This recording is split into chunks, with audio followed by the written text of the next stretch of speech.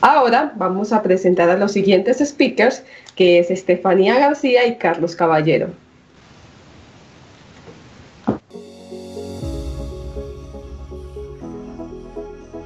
Es el momento de conectarnos con Málaga, España. Hermosa ciudad conocida por sus hoteles de muchos pisos y los centros turísticos que sobresalen de sus playas de arena amarilla.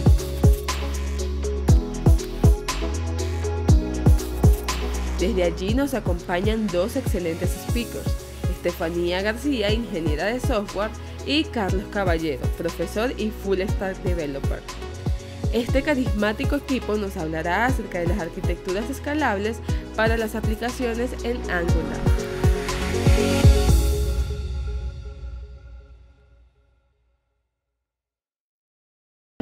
Buenas, ¿qué tal? Pues muy contento de estar aquí. ¿Cómo están ¿Cómo están las cosas en España? Bueno, poco a poco. Van apretando, aflojando, pero yo creo que como en todas pues partes del mundo. Aquí en Málaga, por suerte, estamos bastante bien, dentro de lo que cabe. Súper, me alegra mucho. ¿Qué hora es allá? Aquí las 5 menos cuarto. Listo, perfecto. Entonces, ¿están listos? ¿Están preparados? ¿Algo nerviosos?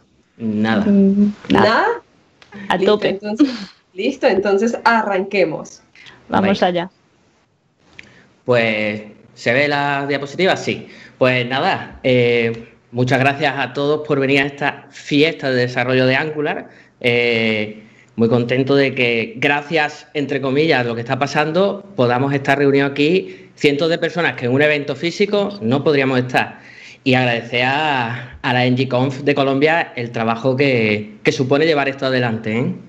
Gracias y también daros las gracias a todos los asistentes que estáis aquí con nosotros un sábado, o le vosotros, de verdad.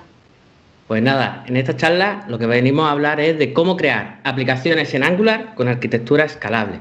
Y lo primero que voy a hacer yo es presentar a Estefanía, la cual es desarrollar Full Stack pero la podéis conocer por el paquete NPKill. Todo el que esté trabajando con Angular, con proyectos de Node, sabrá que esa herramienta que la podéis instalar, lo que nos va a ayudar es a eliminar todos los Node modules que tenemos chupando espacio. Probarla en NPKill.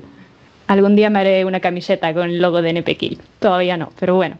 Y ahora os presento a mi compañero Carlos Caballero, que además de ser doctor en informática, es profe de universidad y desde hace poquito es Google Developer Expert en Angular, o sea, súper bien. Y bueno, como hablar de nosotros pues puede resultar un poquito aburrido, ya nos han hecho una presentación excelente, pues lo que vamos a hacer es hablaros un poquito de los proyectos para la comunidad que, en los que trabajamos juntos. Eh, fijaros, eh, venimos de Málaga y somos los organizadores de Angular Málaga. Eh, al que no es de España o no sabe por dónde anda, está justo en el sur de España y por supuesto, todos invitados a venir, a estar con nosotros en los mitad cuando vuelvan, o simplemente a darse un paseo. En el vídeo promocional habéis visto la ciudad, que es una pasada. Es maravillosa nuestra Málaga. Y bueno, aparte, pues tenemos también un pequeño proyecto open source que es Angular Communities, que es básicamente un espacio donde podéis encontrar información sobre todas las comunidades de Angular que hay alrededor del mundo. De nuevo, es un proyecto open source, entonces si a alguien le apetece participar y contribuir, pues es bienvenido si alguno está montando una comunidad local de Angular, eh, que vaya al proyecto, haga un pull request y ahí ya tenemos casi 100 eh, comunidades locales.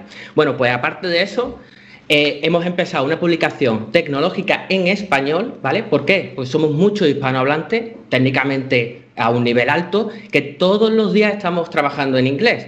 Entonces, una buena iniciativa es que haya también contenido técnico en español, que conviva con el que hay en inglés. Y esa publicación es .text, que la podéis ver aquí en el logo, ¿vale? Y podéis seguirla. Sí, y por último os vamos a contar un pequeño secreto en el que estamos trabajando, que es, pues básicamente es un proyecto en el que tenemos pensado pues dar formación técnica de calidad y tal, que ahora mismo pues no hemos anunciado nada, pero dentro de poquito empezaremos a anunciar por redes sociales.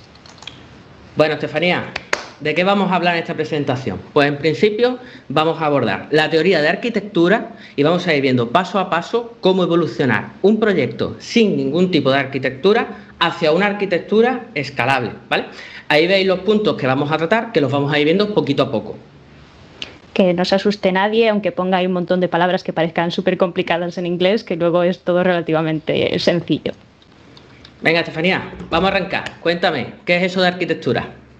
Pues mira, yo no sé si a ti te sonará una persona llamada Martin Fowler que escribe sobre informática y tal, ¿te suena? Mira, mira, yo era joven y me estaba leyendo sus libros, así que algo, algo he escuchado de esa persona. Pues mira, según Martin Fowler, que bueno, esta no es la única definición que ha dado de arquitectura, pero es una que a mí me encanta, él dice que la arquitectura es una palabra que utilizamos para hablar de diseño software cuando queremos que suene súper importante, súper guau. No le falta razón. Yo cuando quiero asustar a alguien digo arquitectura y ya está el mundo guau parado. Pero venga, cuéntame algo un poquito más concreto. Venga, sí, es cierto que aunque la definición de Martín pues mola mucho, pero vamos a dar una definición un poquito más técnica, ¿no?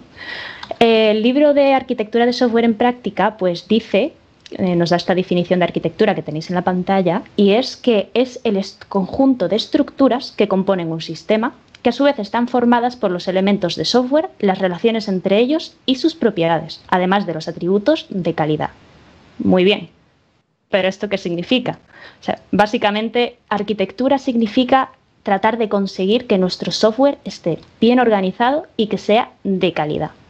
Vale. ¿Y qué significa que un software sea de calidad? Pues mira, la calidad como la arquitectura, una palabra así que asusta mucho, pero eh, la calidad como tal no se puede medir por una sola métrica. Eso hay que olvidarse. Hay un pequeño consenso de 12 atributos que nos permiten definir lo que sería la arquitectura de software, ¿vale? La calidad en la arquitectura del software. Eh, de hecho, la arquitectura escalable, tanto en Angular como en cualquier otra tecnología, lo que trata es de maximizar estos puntos. ¿Qué sucede? Que aunque nosotros queramos, eh, todos los proyectos no necesitan esos 12 puntos en concreto. Algunos van a maximizar un subconjunto de estos puntos. Eh, nosotros hemos venido a charlar sobre escalabilidad, que si os fijáis en la diapositiva es uno de los puntos en concreto, y nos vamos a centrar en ese punto con ejemplos prácticos de Angular. Eh, no obstante, lo que sí hay que saber es que si maximizamos un punto o vamos hacia un punto de calidad de un atributo, vamos a conseguir mejorar los demás, por ejemplo, mantenimiento o reusabilidad. Joder, Carlos, se nota un huevo que eres doctor en informática. ¿eh? La, la teoría la explicas súper bien, me encanta. Pero bueno, ya sabemos lo que significa que un software sea de calidad. Pero vamos a ser sinceros. Eh, en el mundo, en el Internet, hay muchísimo código PHP antiguo que funciona, que no tiene arquitectura ninguna y que genera muchísimos millones de euros. Entonces, ¿por qué es tan importante que la calidad del software sea buena? Espera, espera, que me he preparado una gráfica para esa preguntita. Que ahí tenemos al PHP forrado. Al señor PHP Millonetis. Tenemos al PHP forrado, pero yo me voy a preparar una gráfica para explicarte por qué hay que tener en cuenta la calidad del software. ¿Vale? Pues mira, en la gráfica que tenemos vemos que hay eh, dos proyectos. En línea azul sería un proyecto en el que se tienen en cuenta los criterios de calidad y en línea marrón sería aquel que no tiene en cuenta mm, la calidad. ¿Qué sucede? Que al comienzo de los dos proyectos se puede ver como el que no tiene calidad, agregar funcionalidades a lo largo del tiempo eh, es más rentable. De hecho, punto, énfasis, que quede muy claro, muy claro. Si vais a hacer un prototipo, si tenéis un proyecto pequeño, quizás no merece la pena poneros a aplicar todos estos criterios, si el proyecto va a acabar. En cambio, si el proyecto va a continuar, va a crecer, que eso es lo que importa, fijaros cómo la gráfica, a medida que agreguemos eh, funcionalidades, es más rentable y al final eso es dinerito. Correcto, dinerito y al final a los empresarios que son los que pagan el sueldo de los programadores es lo que les interesa. Pero bueno, hasta aquí hemos dado todo teoría, pero seamos sinceros, aquí estamos todos para hablar de Angular, no para hablar de teoría. Así que vámonos, ¿no, Carlos? Hombre, sí. No sé si tú te acuerdas, un proyecto Legacy que tuvimos que mantener, Hombre, ahí está en pantalla la super aplicación de Dragon Ball. Joder, qué chula está, ¿eh? Pues a ver, os cuento. Básicamente es una aplicación de administración pues, del mundo de bola de dragón, donde vamos a tener pues, el típico login básico para poder acceder al panel de administrador y luego pues, vamos a tener los diferentes módulos, que como pueden ser pues, el panel de control, los personajes, los torneos, mm, etcétera. O sea, es decir, varios tipos de informaciones sobre eh, Dragon Ball. ¿Qué recuerdo me traes? El otro día me enteré que había una saga nueva de Bola de Dragón, que voy atrasado, pero, pero del proyecto me acuerdo que no iba nada, nada, nada bien. No, Pero nada, es decir, al principio, bueno, esta es la pseudo arquitectura que teníamos al principio, que tener esto y decir que no hay arquitectura es exactamente lo mismo. si te fijas, pues teníamos... sí, sí, explica, explica. Sí, explico, explico, lo que esto no se puede explicar, pero bueno. Pues nada, teníamos el App Module, que básicamente pues, es el cargador de la aplicación y lo utilizábamos para cargar dos módulos diferentes. Uno que es el llamado Shared Module, que es el módulo compartido, donde teníamos pues, dos componentes. El componente de los layouts, que es el que tenía pues, el sideNav, el footer, estos componentes de, de, diseño. Y luego pues, el Widget Components, que tenía pues, los componentes relacionados con el panel de control. Y luego aparte pues teníamos un módulo súper gigante, que esto no se debe hacer, nunca se debe crear un módulo gigante, que contenía pues a su vez todos los módulos de Angular Material y todos los componentes organizados por páginas. Madre mía, Estefanía, tú sabes perfectamente cómo va el diseño modular. Yo creo que deberías explicar algo de eso. Sí, sí, sí, porque aquí de diseño modular hay cero, no hay nada. De hecho, lo ideal cuando tenemos un proyecto es tenerlo estructurado por módulos. Así que vamos a ver cómo conseguimos eso en Angular. Pues venga, dale caña. Venga, vamos al lío. Pues mira, lo primero que tenemos que hacer es dividir nuestra aplicación por features. ¿Qué es esto de feature? Pues es cada funcionalidad que tiene nuestra aplicación. Es decir, vamos a coger nuestra aplicación gigante y la vamos a dividir en bloques chiquititos, que va a hacer que pues, nuestra aplicación sea mucho más manejable y esté mejor organizada. Luego, aparte, pues vamos a crear estos módulos especiales que tienes aquí en rojo, me parece, bueno, rosita claro, que se llaman pues los shared modules, que son los módulos compartidos, que van a contener los componentes, las pipes, las directivas, etcétera, que se vayan a compartir entre todos los módulos de la aplicación. ¿Vale? Eh, si te fijas, no hay un solo shared module, sino que hay varios, es decir, podemos tener varios que se compartan a lo largo de la aplicación. Y por supuesto, pues el módulo cargador, que es el App Module, lo tenemos que tener porque por ahí tiene que empezar nuestra aplicación. Y luego aparte, pues vemos en gris que hay una cosa que se llama Core Module. ¿Eso qué es? Pues básicamente el App Module suele contener toda la lógica de inicialización y de configuraciones de nuestra aplicación. Entonces, para no tener un App Module gigante, súper crecido, con un montón de código, lo que hacemos es separar ese código y extraerlo al Core Module, que es el que va a contener pues, todas esas configuraciones. La verdad que este diseño empieza a gustarme un poquito más, Estefanía. Sí, ¿verdad? Yo ahora, ¿sabes lo que hablaría? Un poquito de los tipos de feature modules que hay, que hay unos cuantos en Angular, ¿eh?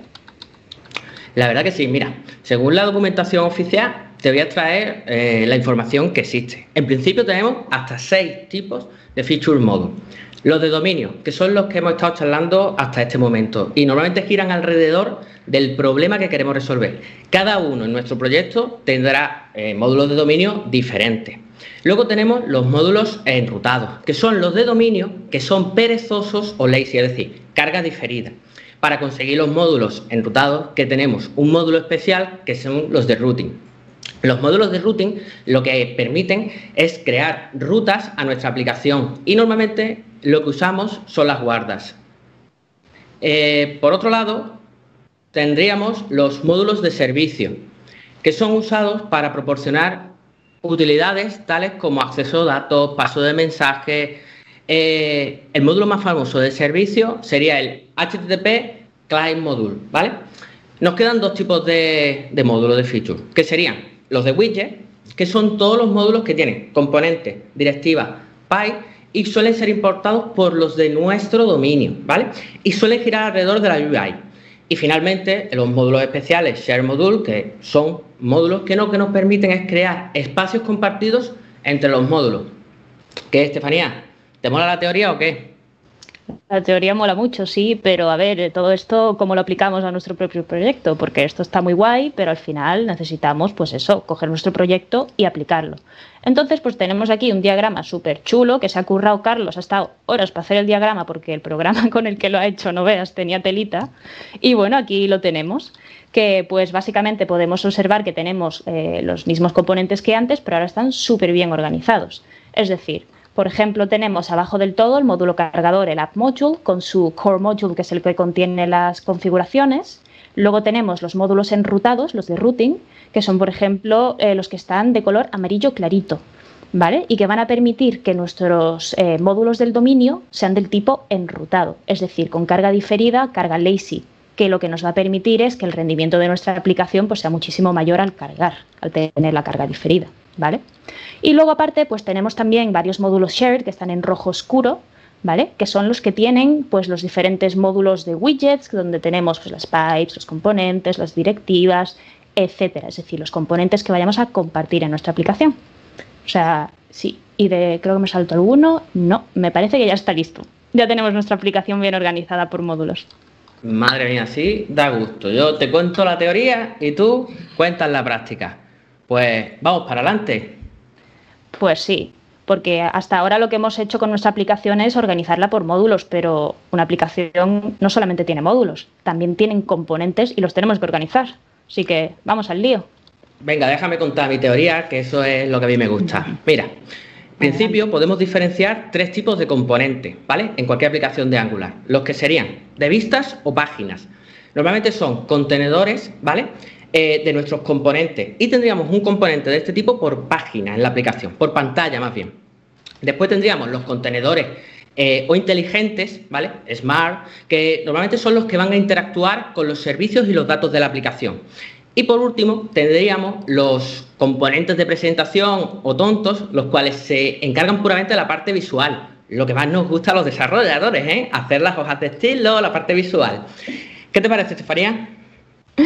El CSS fatal, del resto que has contado, fantástico. Pero bueno, eh, de nuevo, súper chula la teoría, pero vamos a ver cómo aplicamos esto a nuestra aplicación. Vamos a coger uno de nuestros módulos feature, uno de nuestros módulos de dominio, que va a ser el de los personajes, ¿vale? Y vamos a ver, pues, en este módulo, dónde están todos los tipos de componentes que Carlos nos acaba de explicar. Tenemos primero el tipo de componente contenedor, ¿vale? Que sería lo que es la página que lo muestra todo, que lo tenéis eh, señalado con una línea roja. Luego, aparte, vamos a tener dos componentes inteligentes diferentes, que están señalados por la línea de rayitas amarillas. ¿vale? Que van a ser uno el que contiene pues todas las tarjetas con la información de los personajes de Dragon Ball y otro es el contenedor que tiene dentro el tema del formulario. Y luego aparte pues vamos a tener dos componentes tontos que son los que están con la rayita de, la rayita de puntitos. Eh, sí, los puntitos verdes que pues básicamente son los componentes que se van a encargar de lo puramente visual, es decir, de renderizar la información que tengamos, como son los personajes o el propio formulario en sí. Pues me parece bien. Ya hemos repasado dos puntos. ¿Cuál crees que sería el siguiente? Hombre, ya tenemos módulos y componentes, pero hay que comunicarlos de alguna forma, ¿no? Es decir, tenemos una aplicación y tenemos que comunicar todos los componentes entre ellos, así que vamos a ver eso, ¿no? Yo te voy a dejar la teoría a ti. Venga, empieza a, repasar cómo los comunicamos. Pero que el doctor eres tú, ¿eh? No soy yo. Bueno, venga. pero me, animo, me animo y hago yo la teoría. Lo único, la diapositiva me parece, no sé si es que se ha quedado pillada. Ahí, para adelante. Ahí. Súper bien. Venga, pues básicamente vamos a tener dos tipos de flujos de datos, ¿vale?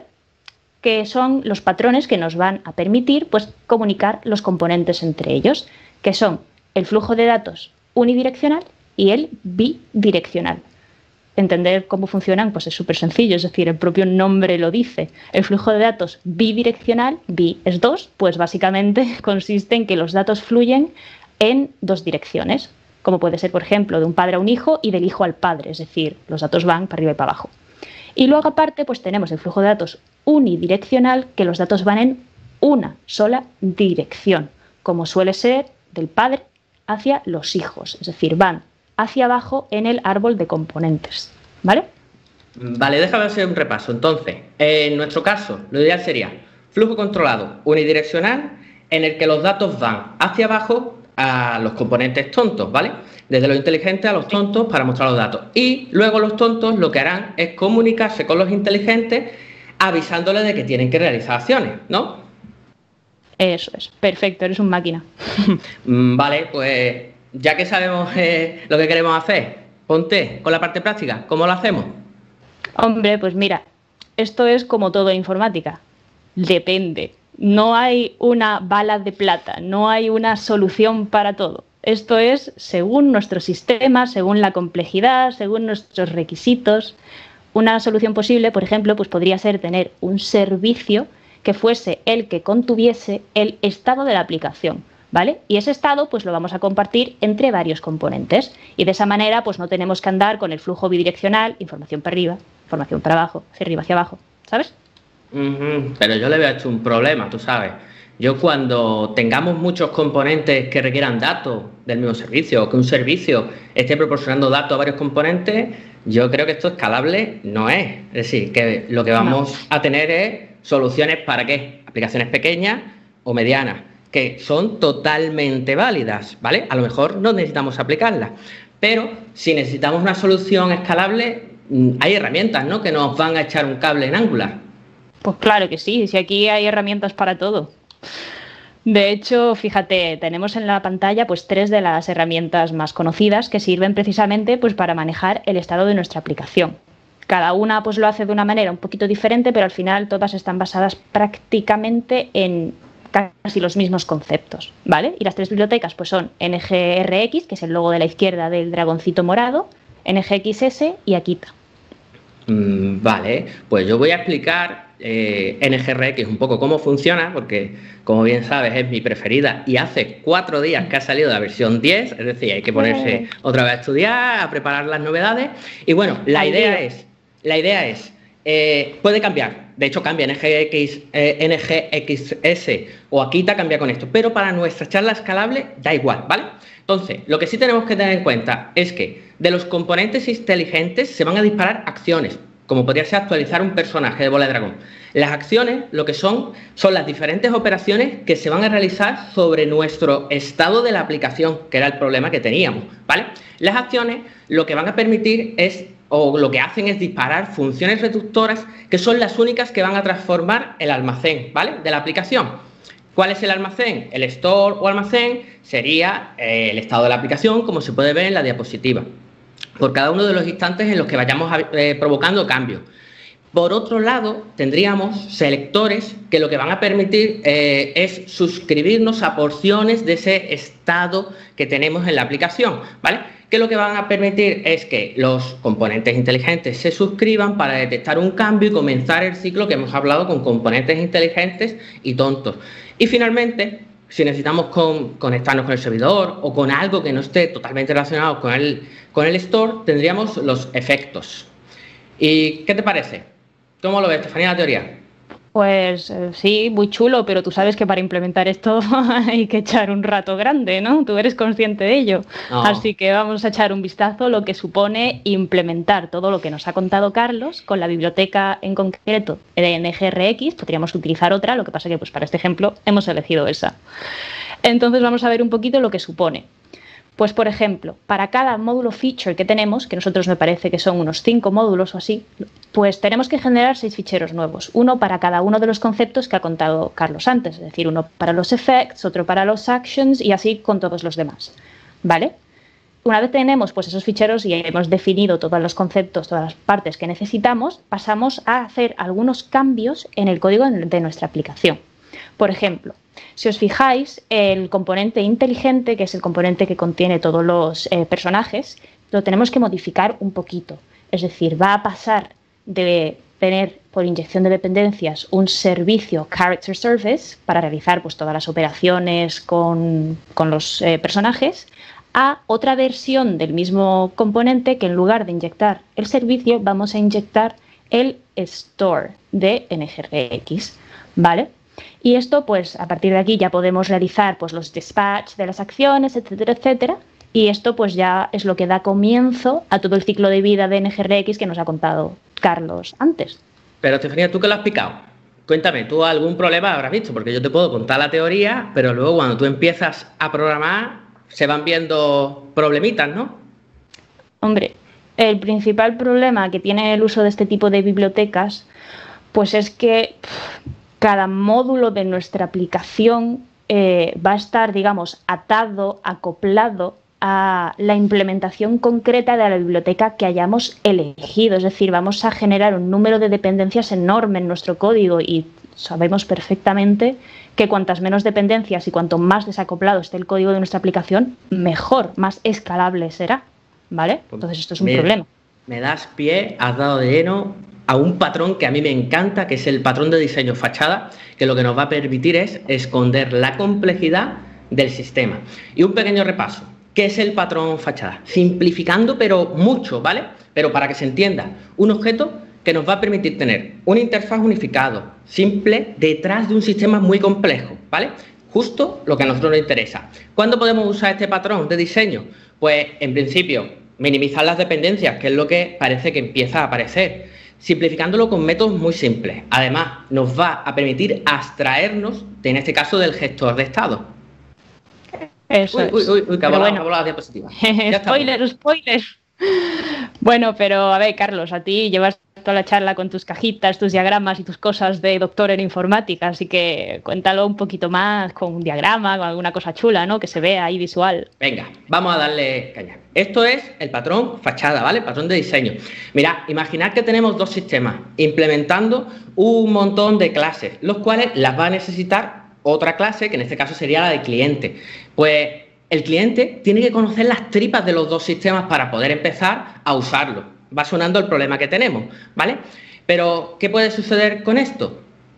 ¿O qué, cómo podemos mejorarlo más bien? Metiendo la fachada por medio, ¿vale? Eh, la fachada sería la clase intermedia, la cual es la única que conoce el interfaz de los dos sistemas y el cliente solo se comunica con la fachada, interfaz simple, ¿vale? Es decir, si cambiara algo del sistema 1 al sistema 2, al cliente le da igual porque se va a comunicar a través de los métodos. Obviamente la fachada hay que actualizarla, pero actualizamos un fichero, ¿vale? Un sitio que sería la fachada. Eh, ya, pero ¿qué pasa si empieza a crecer la aplicación? Eh, imagínate, o sea, nosotros tenemos un montón de sistemas y van apareciendo más y más y más. Si nosotros solamente tenemos una clase fachada, que es la que va a tener toda la información, esto se va a convertir en una clase gigante y tú sabes perfectamente que eso es un antipatrón que se llama blob. De hecho, míralo, ahí está en la diapositiva, el blob acechando. Qué, mono es, qué mono es. Pues mira, esto es muy sencillo. Si te aparece un blob, mátalo. Es que no tiene más. ¿Qué hay que hacer? Vamos creando diferentes fachadas a, medida que vamos necesitando y vamos escondiendo la complejidad. En un ejemplo sencillo, ¿vale? tenemos un sistema de bola de dragón, un sistema de Pokémon. Clásicos ejemplos que se dan en, cualquier post de un blog, ¿vale? ¿Qué hacemos? Dos fachadas y el cliente solo se comunicará con la fachada de bola de dragón o la fachada de Pokémon. Imagínate que aparecen 50 series más. ¿Qué podemos hacer? Crear fachadas intermedias, siempre escondiendo la complejidad, ¿vale?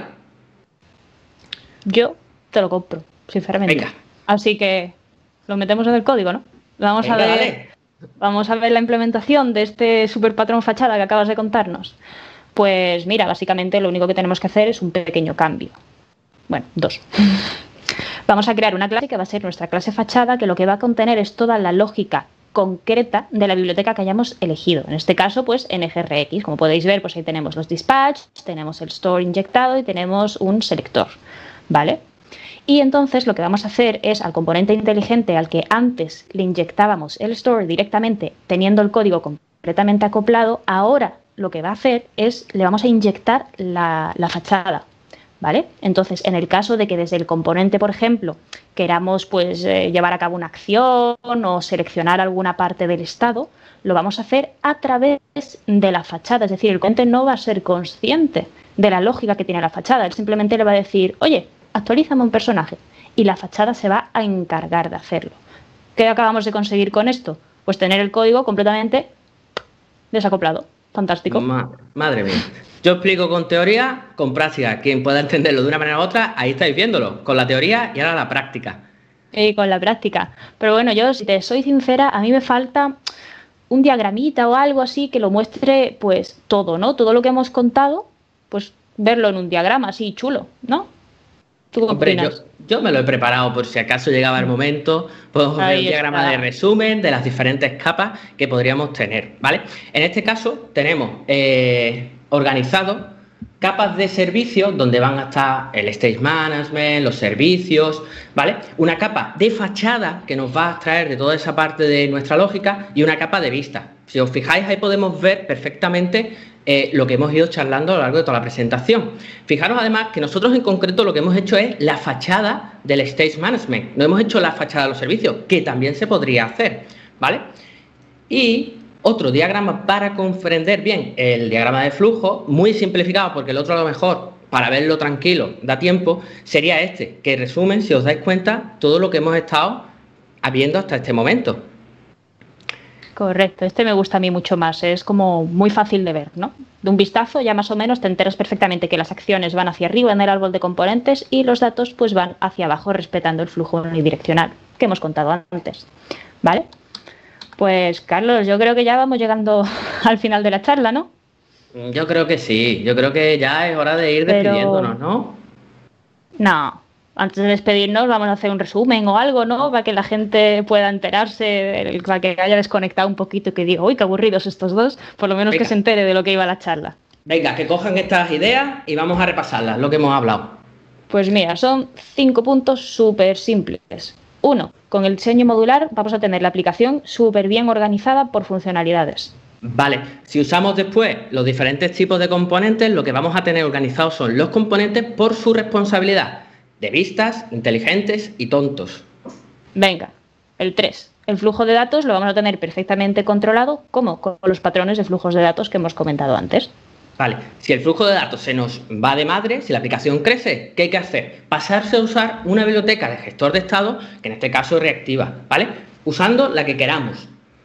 Vale, y por último, el quinto, pues vamos a esconder toda la complejidad interna y vamos a tener el código desacoplado mediante el patrón fachada. Pues Estefanía, yo creo que va siendo hora de que nos despidamos, darle las gracias a todos los que nos han visto y que nada, que nos sigan en Twitter, que nos escriban, que estamos aquí para lo que necesitáis, lo que necesitéis, de hecho, escribid o lo que, lo que queráis, vaya. Muchísimas gracias a todos por habernos escuchado, muchísimas gracias al equipo de NGConf Colombia por el trabajazo que están haciendo y nada, nos vemos en la próxima. Muchas gracias.